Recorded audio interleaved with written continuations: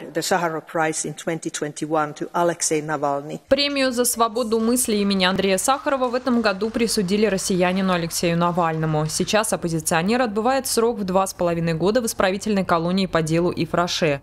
Его кандидатуру выдвинула Европейская народная партия. В Европарламенте отметили, что Навальный стал известен благодаря своим антикоррупционным расследованиям.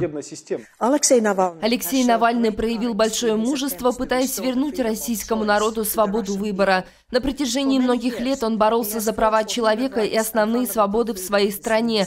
Это стоило ему свободы и чуть не лишило его жизни. От имени Европейского парламента я призываю к его немедленному и безоговорочному освобождению. Кремль все обвинения в свой адрес отрицает и говорит, что Навальный находится в колонии не за свою политическую деятельность, а за нарушение закона. Мнения жителей Москвы по поводу присуждения премии разделились. Мое личное отношение к Навальному и к его действиям в России, к его провокационным действиям негативное.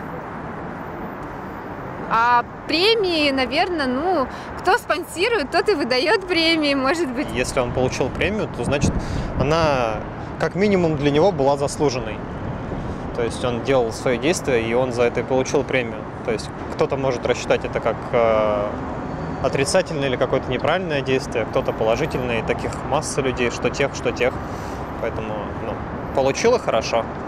В Европарламенте надеются, что 15 декабря Навальный сможет лично приехать на награждение. Однако, скорее всего, награду вручат его родным и соратникам. В июне суд постановил, что его деятельность в России считается экстремистской. После этого провели рейды в домах многих его соратников. А в прошлом месяце в отношении оппозиционера завели новое дело. Это может оставить его в заключении еще на десятилетие.